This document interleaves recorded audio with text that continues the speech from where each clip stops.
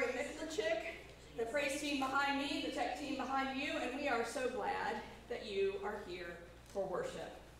If this is your first time with us today, we would love for you to leave your contact information with us so that we can reach out to you, learn a little bit about you.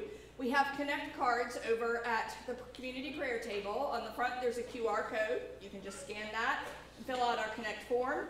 Or on the back, you can um, complete your name and contact information and then place it in the bowl that is out in the lobby where we receive our offering. Um, we have been telling you for the last couple of weeks about our new church app. Today there are instruction sheets in the lobby. If, um, if you have not downloaded it yet, we encourage you to do so. Um, in the first part of this week, we will be sending an email from our database out to everyone's email addresses that we have, and that is linked to our app, and we'll invite you to log in. If you already use our e-giving platform, you probably already have a login because they're all connected in, in a mysterious way that I don't understand. Um, and um, if you do not use our e-giving platform, you will need to log in. And once you are logged in, you will magically have access to the church directory on your phone um, and also be able to track your giving. And you think, well, why would I want the church directory on my phone? And I say to you, well, you know, you might need to go drop off some goodies at Carol's house because she's so amazing. So you could pull up her address on the church directory and you could click on it and it would immediately go to your navigational system and you could drive to Carol's house. Isn't that awesome? Um, it, it's a really um, wonderful way to stay connected. Coming up three weeks from yesterday, we are excited to again welcome the Bayside High School community to our west parking lot as we host a tailgate before their homecoming parade. Um, we want you to use the link that's in your weekly email to sign up to let us know what tailgate food you're going to be bringing um, to share with our community. The weekend after that, Sunday, October 16th, we have our first Worship Without Walls Sunday a day of serving the community that I talked about last week in my sermon. Um, there are details in our beacon, but briefly, we are going to be doing a cleanup at Bayville Park. We're going to be packing over 10,000 meals for the hungry, dehydrated uh, meals for the hungry in this space, and hopefully also doing some work over at Luxford Elementary in their courtyard. So we're excited about uh, that Sunday coming up in October. Um, our men's, United Methodist men's and women's groups are leading us, um, and there's no information about this anywhere yet, so listen. Um, leading us in collecting flood buckets for the United Methodist Committee on Relief. Um, UMCOR is one of the Globe's um, leading uh, disaster response agencies, and flood buckets, um, look, I look like I'm holding a bucket. 10 gallon buckets with the top on them that are filled with supplies to help uh, muck out when there's been a flood. Um, those supplies were largely depleted with the flooding that happened earlier in the summer in Kentucky um, and Virginia and other places. So um, we are um, trying to bolster those supplies. And that call came out a couple weeks ago before Fiona and Ian were even a thing. So um, if you're interested, Pete Kundrat and Marcia Sokolowski are going to be uh, leading that effort, and you'll hear more about it in the coming. Today we continue a worship series called BUMC as we consider the meaning of our United Methodist faith tradition. This morning we start by exploring what it means to be the people of God who attend to the ordinances of God. As we move into worship, I want to invite you to take a couple of deep breaths, to breathe in God's Holy Spirit, as you breathe out to release anything that you're worried about or preoccupied by, to just breathe in and out and center yourself on the God who is waiting for our worship.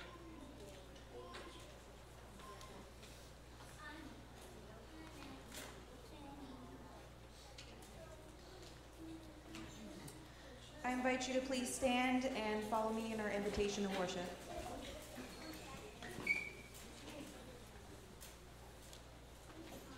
United Methodists are people who Attend to the ordinances of God. Attend. Pay attention to, practice, make real in our lives. Ordinances of God. Practices that Jesus models and John Wesley encouraged. we might need to learn more. Let us worship and explore. Please remain standing as we sing our praise.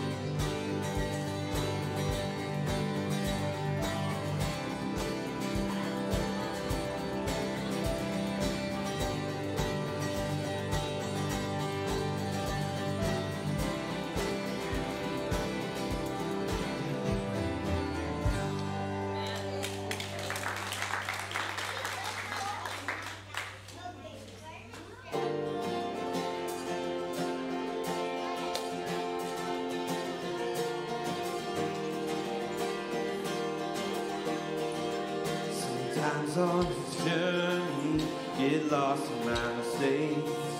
But it looks to me like weakness is a candle for your strength. My story isn't over, the story's just begun. Failure wants to find me, that's what my father does. Failure wants to find me, that's what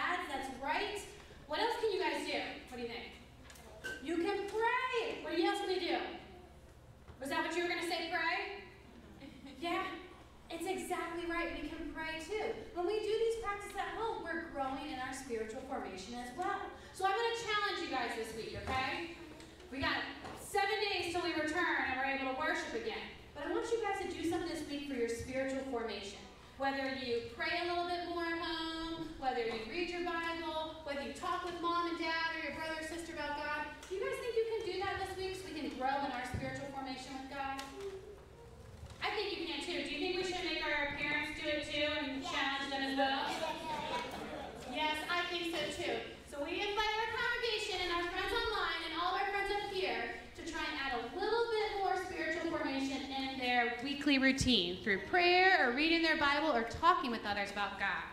You think we can all do it? Yeah. I think so too. So let's go ahead and turn to God in prayer. So let's go ahead and fold our hands and bow our heads and repeat after me. And congregation, repeat after me too. Dear God. Dear God. Thank you so much. Thank you so much. For the relationship.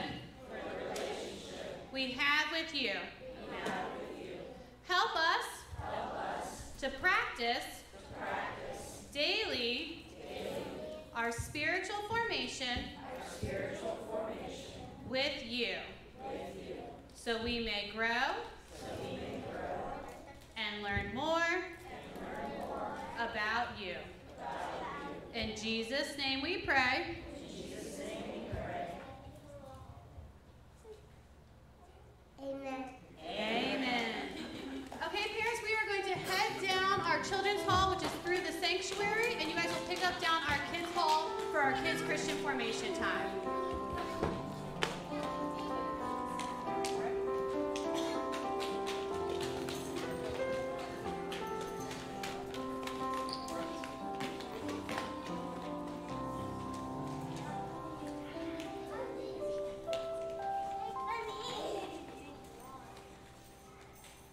Testament reading comes from 1 John chapter 5 verses 1 through 4. Everyone who believes that Jesus is the Christ has been born from God. Whoever loves someone who is a parent loves the child born to the parent. This is how we know that we love the children of God. When we love God and keeps, keep God's commandments. This is the love of God. We keep God's commandments. God's commandments are not difficult because everyone who is born from God defeats the world. And this is the victory that has defeated the world our faith. For the word of God in Scripture, for the word of God among us, for the word of God within us. Thanks, Thanks be to God.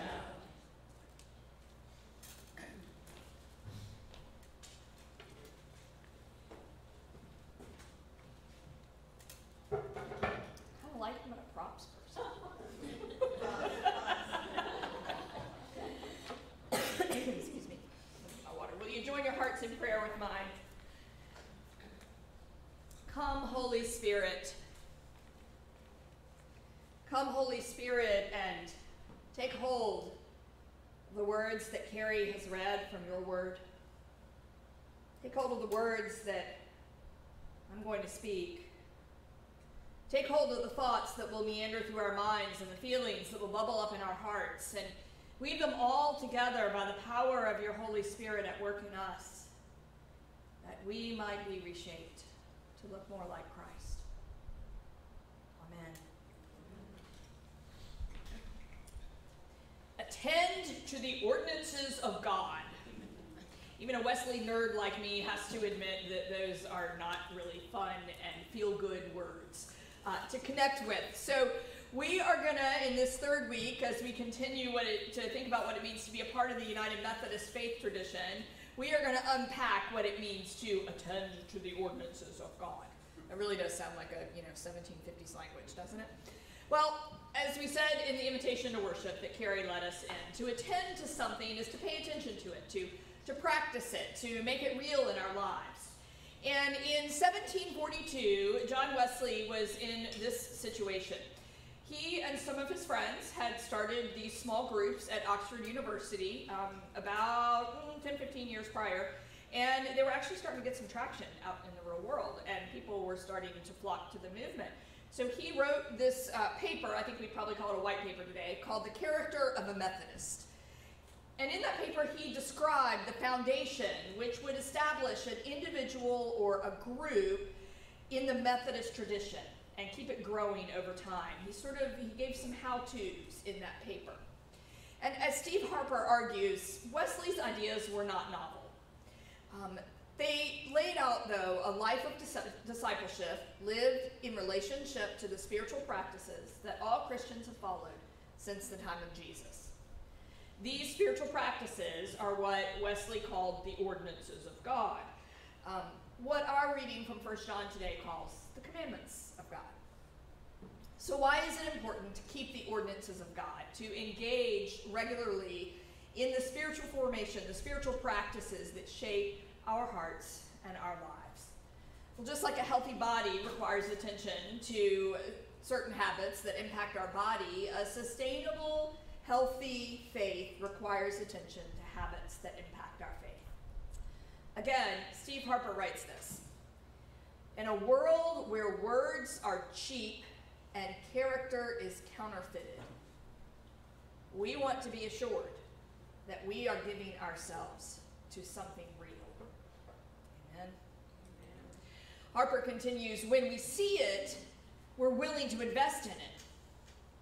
We usually do so by some sort of deeply meaningful experience, but it doesn't take us long to discover that something more is needed to sustain the original. In fact, we usually learn that we can't sustain all the ways we felt at the beginning because some experiences were not meant to last forever. Instead, we must move into a more intentional life that nourishes and expresses what first got us started. So I expect that many of you are like me, and you can point to, to moments in your spiritual journey that are, that are mountaintop experiences, spiritual encounters that deeply shape and form us. The, the Christmas Eve, or the Easter, the Good Friday worship service that, that just touched you and, and turned you. The prayer with a group that overflowed with the presence of the Holy Spirit. The song that just always touches you and lifts you up. The mission trip of the retreat that was transformation. Just last night, one of my daughters called me um, around 9 o'clock. Um, she had just gotten out of a um, award presentation to someone who has been a hero to her since 2018. And she was the only student at JMU that got invited to go to this award presentation and, and be present with this person who was just such a hero, such a giant to her. And when she called, she was like, I mean, she just she was tripping over words, right? I mean, she was so excited to have, have just been in his presence and talked to him and, and gotten to know him. A, a real mountaintop experience. You can't bottle it carry it with you forever. In order to be sustained, we need practices that can keep us connected to God. We need to attend to the ordinances of God. And the need for those practices is deeply connected to our United Methodist theology of grace. That's the agent of our salvation. The language we use to talk about how we are saved in the United Methodist Church. We have a confrontation with grace. As United Methodist, and we understand that there are three different types of grace prevenient grace, justifying grace, and sanctifying grace. First, grace is the love of God that is stirring in our hearts before we can even understand that in our minds. Grace is why we baptize infants, because we believe that infants are stirred by the love of God before they are e- cognitively able to, to understand and respond to that. That kind of grace is called prevenient grace. Prevenio in Latin means come before, the love of God that comes before we even realize it. Grace is also the agent of our salvation because it sets us right with God. The, the modern illustration to understand this justifying grace is a word processing program that magically justifies the document, right? It, it makes it not right aligned, not left aligned, but all of the lines are magically even. That is what Christ did when he died on the cross. His death took away the power of sin over us and realigned us, set us right with God. Justifying grace reorients us to a life of Christ, and it often grabs hold of us at one of those mountaintop experiences that I mentioned. So grace comes before, grace realigns, and grace also continues to work with us and work on us as we travel our journey of faith. And that's where the ordinances of God enter the picture. This grace that accompanies us on the journey was called sanctifying grace by John Wesley. It's a grace that surrounds us through our pilgrimage of faith. It's a grace that is there when we feel really close to God, and it's a grace that's there when we're really struggling with God. Wherever we are, that sanctifying grace is with us, sanctifying, perfecting us into new creations in Christ. Now, in order for us to experience sanctifying grace, we have to stay engaged with our lives of faith. We have to open ourselves to be spiritually formed by grace. That's why spiritual formation is the word that we are using today as our worship focus. United Methodists believe that the journey is not over once we've been justified, once we've been aligned to Christ. We continue to move forward. Sometimes we move backward. Amen. That forward and backward movement in that journey towards Christ continues throughout our lives as we are formed into the image of. So, if that's why we need to be spiritually formed, if that's why we need to keep the ordinances of God, to to grow in that sanctifying grace to look more like Christ. The next question is the how. What are those ordinances of God that John Wesley emphasized? How do we do that? Well, Wesley characterized our faith practices into two groups works of piety and works of mercy. And those can also be public and personal. And I kind of got to look so I don't mess this up right now. So you have works of mercy at the top of the cross, works of piety at the bottom of the cross, and then on the left you can have personal acts that are that are happening kind of inside of you, and on the right public acts uh, like coming to worship. While you're having a personal worship experience inside, you're also with a group of people, so it's a public thing. I also worship in the woods by myself in a hammock, um, right? That that's also worship, but it's more of the private right. So all of those things um, make up the, the means of grace, the works of piety and works of mercy. That can include worship, Bible study, prayer, but also visiting the sick, um, visiting the imprisoned, giving to charity, doing things that care for others. We call these the means of grace. They are the way that we experience God's grace and come to know God more fully. Wesley knew that if we practice our faith in these ways, we would recognize the free and unlimited grace that God pours out to us. The writer of 1 John says, We love God when we keep God's commandments. A bit earlier in chapter 4, the writer says, Whoever does not love does not know God, for God is love. So, in order to know God, Wesley knew we have to love. We have to love God. We have to love one another. We have to love not just passively, but actively in practices that keep us in relationship with God and with one another. We do that when we engage more deeply in spiritual formation. So here at Haygood, we have lots of ways that we offer for you to attend to the ordinances of God. You're in one of those ways of inner formation right now, worship. I don't know if you notice, but each week when I pray before I preach, I invite God to reshape us, to form us to look more like Christ. That is what worship is all about. being reshaped and reformed into God's image. We also have small groups for children down the hall right now in Children's Christian Formation, for youth, for adults, where people are able to explore scripture and faith together. We have some new small groups bubbling up right now for adults of different ages and stages of life. Uh, you can find out more about those in our weekly email, The Beacon.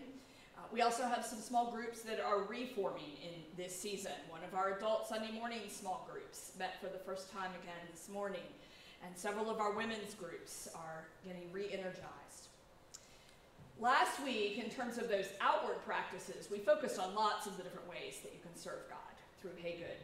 Uh, and I'd also lift up those among us who visit the sick and the homebound, those who take communion out into the community. Right now, we're working on strengthening our intercessory prayer ministry, the ways we pray for each other and for the world. If you are someone who is intentional about praying for others, we would love for you to join our prayer team. You can reach out and let us know. Out in the lobby, you will see on the windows across the lobby from us, there are posters with these words spiritual formation, serving, community. You can sign up on those posters to be connected to one of the ministries that's in that area. We hope you'll take a few minutes to look at them and to see where God might be beckoning you right now. Haygood is a community where we offer lots of ways to engage in spiritual formation but there are as many ways to grow spiritually as there are people in this room. It's, it's not a, a prescription, right? It's a description. I know people who connect best with God when they're on a boat on the water. Being in a room in a worship service doesn't really do it for them. They come, where they really get fed is on the water, right? Where there are lots of different ways where you can make yourself available and open to be shaped and formed by God. And one of the things that I've discovered on my own journey of faith is that there are there are certain practices that are anchors for me, certain certain foundations for me, and I can trace those over a lifetime. One of the ones that um, I think about most often is praying before dinner, whether it was with my family at the table, in the round table that was my great grandmother's in the kitchen my dad would lead us in prayer that his dad would always say, whether it was when my children were young, I'm praying a blessing over a meal. Now, as I'm an empty nester and live by myself and try to remember to pause and give thanks. When I'm out with somebody in a restaurant, just a simple thank you, God, for this food as you lift the plate. That's been a foundational one for me through my life. But there are other moments when my journey's gotten stale I've gotten complacent, and I've needed to mix things up and add something in. Remember, we're moving on toward perfection, in Wesley's words. And sometimes we need a new practice to nudge us out of a, of a complacent space. The good news is that when we engage in keeping those commandments and we actively stay in love with God, we will discover transformed hearts and lives. Thanks be to God who is at work within us by the power of the Holy Spirit. Amen. Amen. As we continue in our worship today and we respond to God's word, we invite you into some personal reflection on how you seek to do no harm in the world. Um, in your seats, or you were handed some pieces of paper that have part of our BUMC logo on them, and ask the question How have you grown in your relationship to God through Hey Um, your answer might come in uh, a story or a spiritual practice or a small group experience. But we invite you to share those stories. We're going to be sharing them with the congregation as a witness to all that God is doing um, in just a couple of weeks. There's a glass bowl over on the prayer table um, under the word spiritual formation where you can put your responses if you write them. As we continue in our worship, we have the joy today, before we sing our response, of receiving new members. And so I'm going to invite the Marcuses to come up. Um, Heath and Jen and Jack.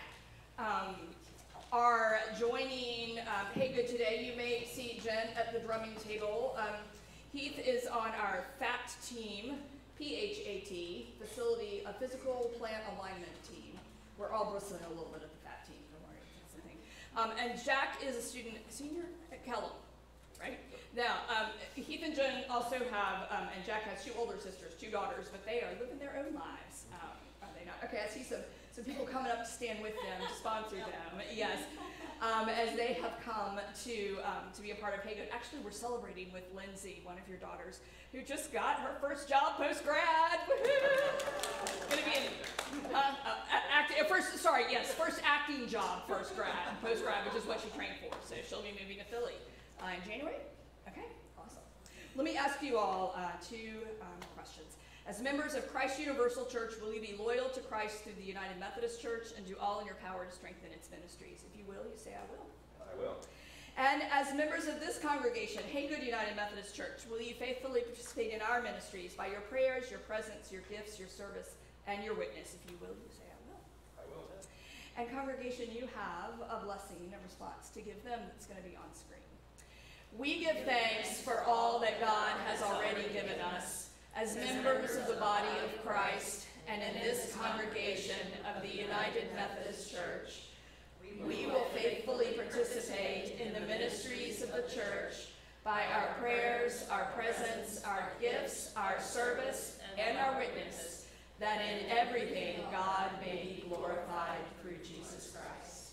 Amen. We welcome them.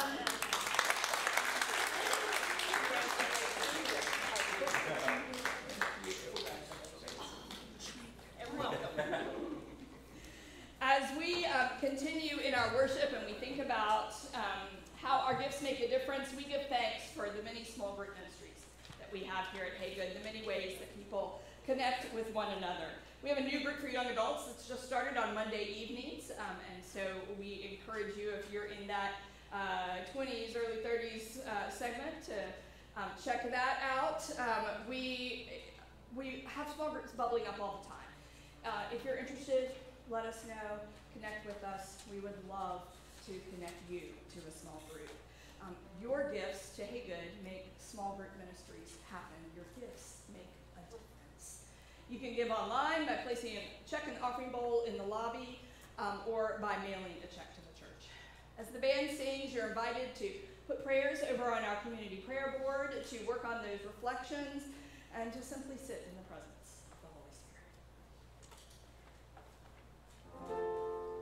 I am surrounded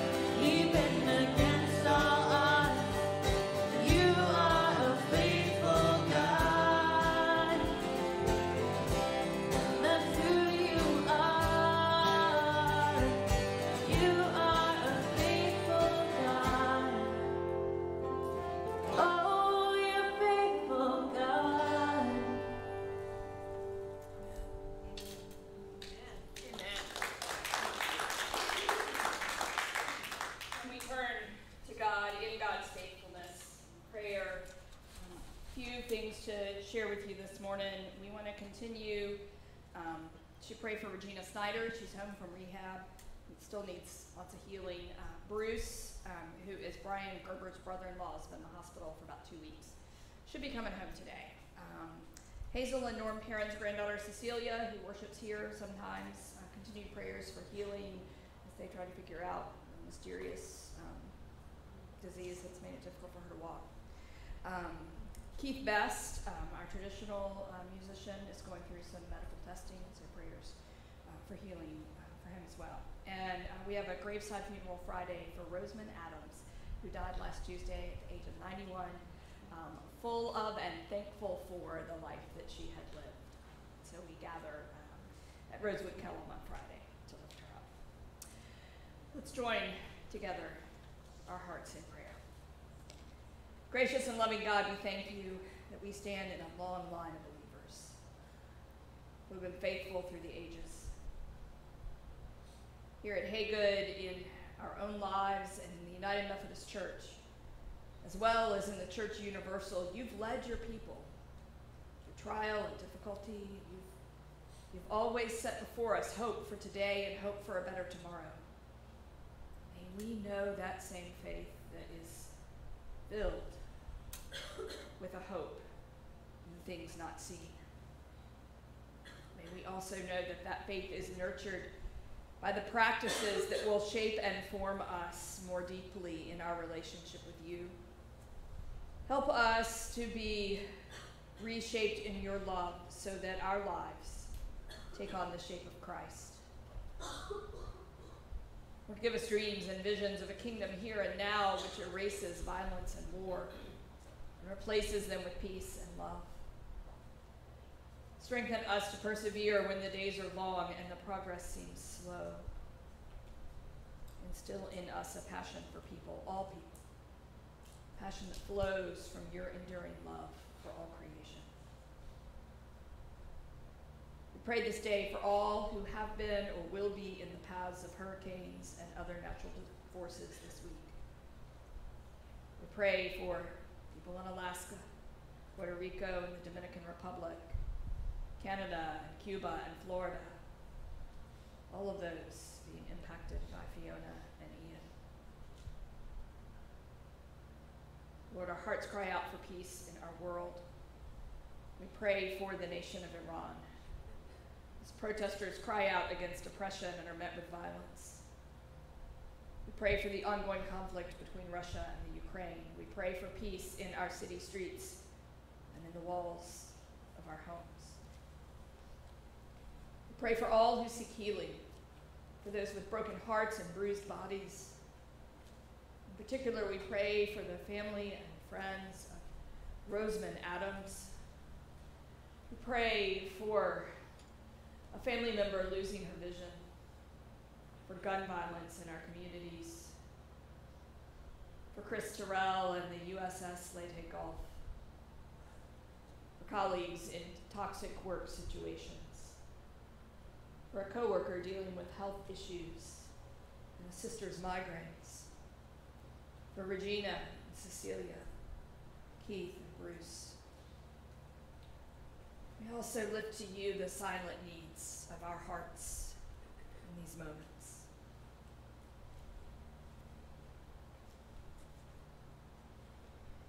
And all of these things we ask in the name of Jesus Christ our Lord, who taught us to pray together, saying, Our Father, who art in heaven, hallowed be thy name. Thy kingdom come, thy will be done, on earth as it is in heaven. Give us this day our daily bread, and forgive us our trespasses, as we forgive those who trespass against us. And lead us not into temptation, but deliver us from evil. Thine is the kingdom, the power, and the glory forever. Amen. Will you stand as you're able as we sing our commitment?